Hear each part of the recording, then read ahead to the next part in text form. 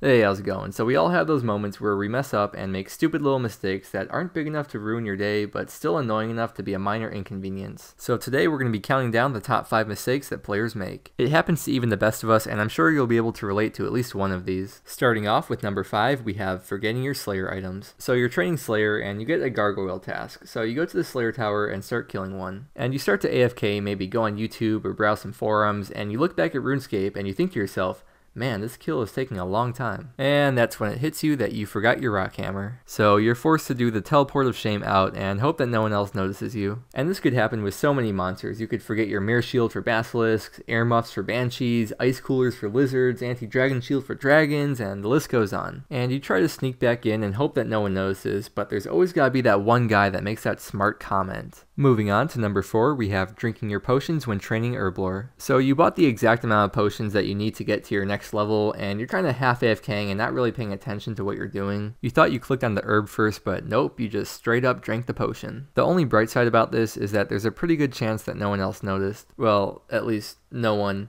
except the banker.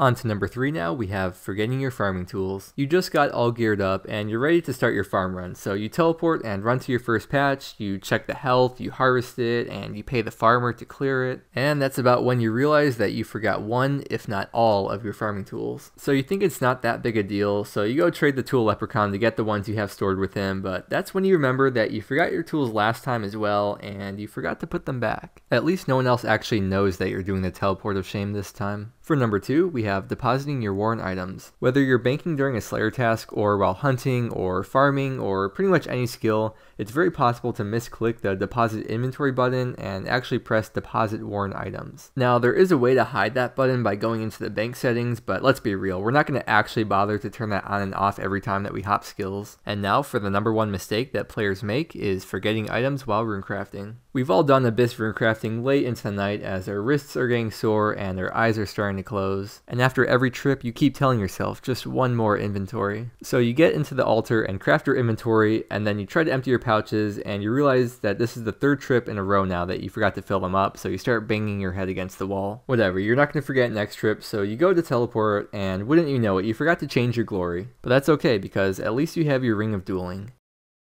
Oh. Well, uh, at least you can home teleport. Wait, no, you can't because you just used it a couple minutes ago. When you have to use the minigame teleport as your teleport of shame, that's when you know it's about time to go to sleep. That's gonna wrap up this video though. I hope you enjoyed and found it relatable. If you did, please give it a like, and if you'd like to see more from me, please subscribe. It really would mean a lot. My clan chat, Mudkip, is open for anyone to come in, so feel free to stop by and chat and meet other players. But I would like to thank you so much for watching this video, and I hope to see you again soon.